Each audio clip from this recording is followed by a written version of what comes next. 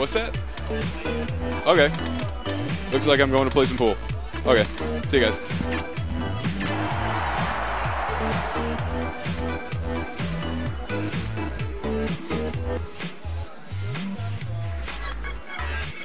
Hi there. Hi there.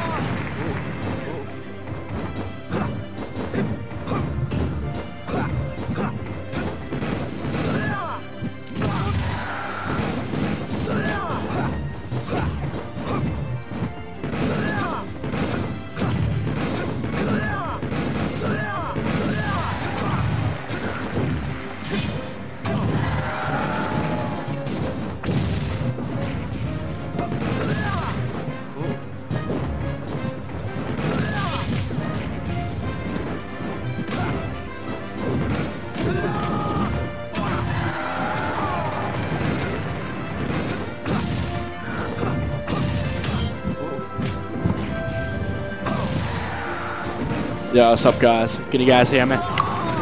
Got your man Blood Crows over here. I'm not really gonna commentate this match. We're in pools.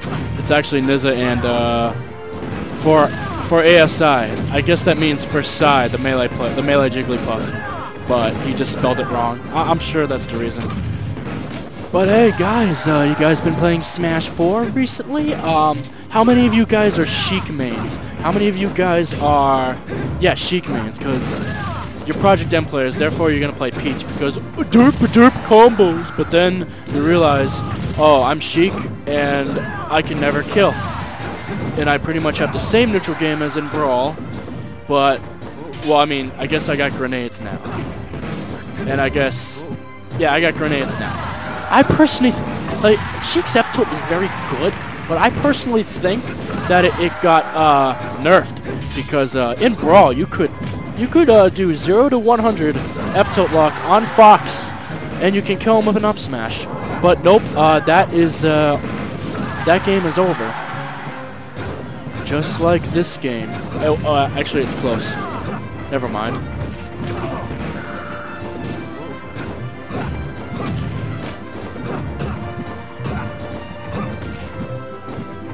Alright, so we got a Ness player, we got a Peach player. What's up? Um. Oh shit. Um. I think Peach is good, although I have no idea why. I just think she's good. Everyone's gonna call her bad, but then. Nah, because.